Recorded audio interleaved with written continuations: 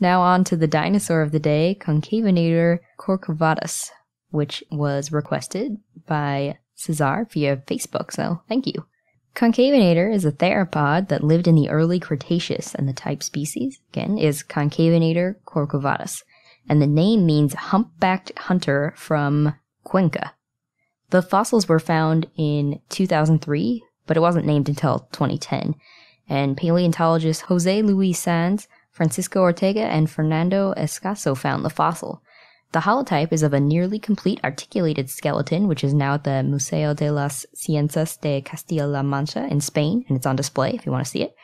It's the most complete Carcharodontosaur, and it's the first to show evidence of feathers, or at least something like feathers. They place it as the most basal Carcharodontosauridae, but back to the feathers, it had these small bumps on its forelimbs that are thought to be quill knobs, and in birds, quill knobs anchor the roots of the feathers on their wings.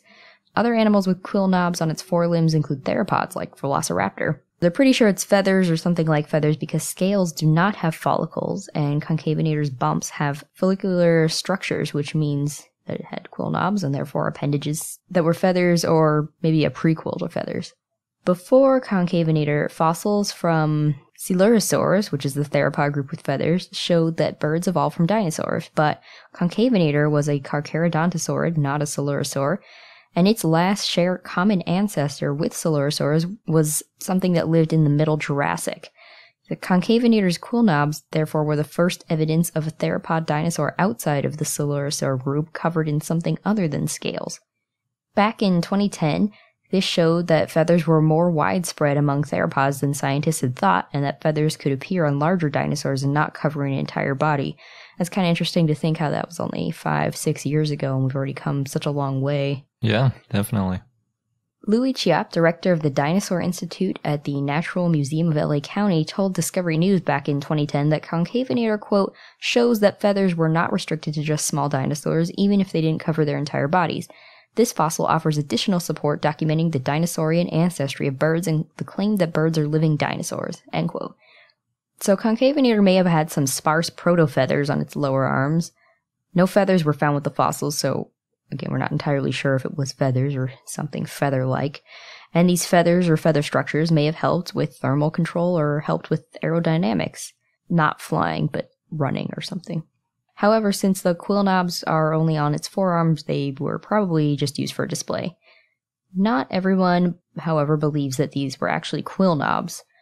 Darren Naish said that these bumps were irregularly spaced and that many animals have something similar along their intermuscular lines, and that these were muscular insertion points.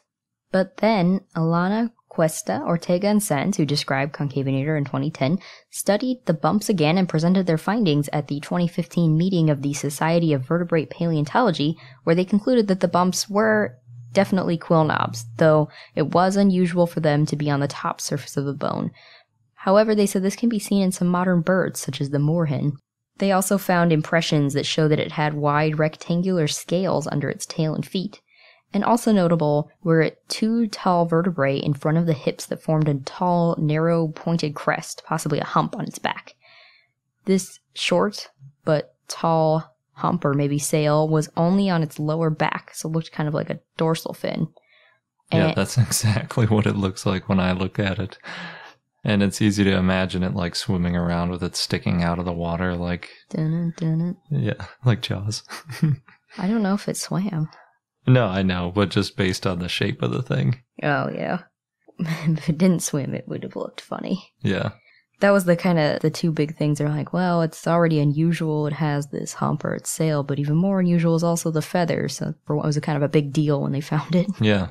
So Francisco Ortega said that the hump may have looked similar to humps that we see on some modern cows. Poor concavenator. Tall neural spines have been found in Spinosaurids, Carcharodontosaurids, and some tetanurans before, but not only on the lower back. So concavenator's back hump or sail function is unclear because it's so limited. it may have been used for display, thermal regulation, to store fat, or something else entirely. Becklespinax has been compared to Concavenator, and we've talked about Becklespinax back in episode 54, and some scientists think that they could be the same genera. They're about the same size, they look alike, they both have this weird hump, but it's hard to know since Becklespinax, all we know about it is three dorsal vertebrae. Also, Becklespinax is 10 million years older than Concavenator. Concavenator is about 20 feet or 6 meters long, and it had short, stout claws, and it lived in wetlands. And Concavenator shows that Carcharodontosaurids, which is the group it's in, lived in Europe and the northern continents, in addition to South America, Africa, and Australia. Carcharodontosaurids, we've talked a number of times, that type of dinosaur seems to keep popping up. And its name means shark-toothed lizards, and they were carnivorous theropods that Ernst Stromer named in 1931. And the family includes Gigantosaurus, Mapusaurus, Carcharodontosaurus, and Tyrannotitan, who are all about the same size or larger than T. rex.